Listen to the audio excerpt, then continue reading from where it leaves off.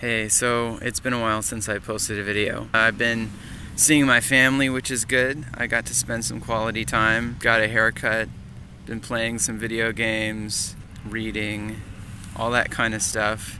Uh, but I haven't stopped making videos. Uh, I made this one video for a coworker who's leaving uh, for a long period of time to spend with his family, which is good. A bit of a spoof on uh, the episode where Michael Scott is leaving the office. Also, I made a video for a friend of mine, DJ Illusion. Uh, and if you're looking for a DJ in a Seattle ish sort of area, you can find him at uh, djillusion.net. Also, not going to post that because it's chock full of copyrighted music. So I've been just kind of taking a sort of break from from this channel. This is the longest I've gone without posting a video since I started October of last year. But I'm still going to keep making videos. So I thought I would uh, take this opportunity to talk about why I make videos. First of all, it's because it's hard for me. Um, and the, the hardest thing for me about making videos is just uh, this thing talking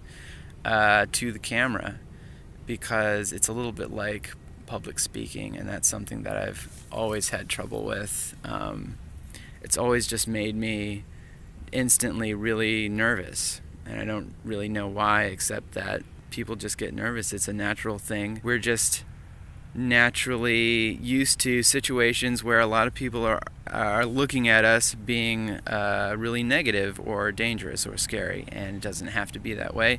And it's just about um, doing a lot. So that's why I'm doing it. I also am doing it because I really I enjoy editing videos and coming up with ideas for videos. When I'm editing, I'll just sit down for hours and hours and lose track of time and uh, keep working on it late into the night. Nobody's going to do my editing for me, so I might as well have fun doing it. If I didn't have fun doing it, I couldn't really make videos.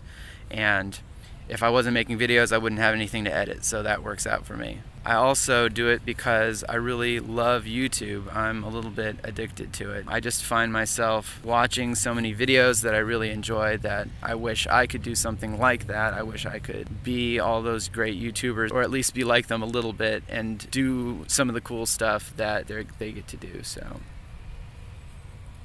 a little bit of that. YouTube is also a really fun community. So if you put out a video talking about whatever crazy thing you're into or are thinking about, or uh, or you just have something to say, someone out there will listen to you.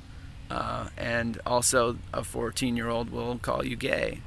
But the main reason that I make videos is for you. So I hope that you enjoy them, uh, get something out of them, uh, think that they're at least mildly interesting.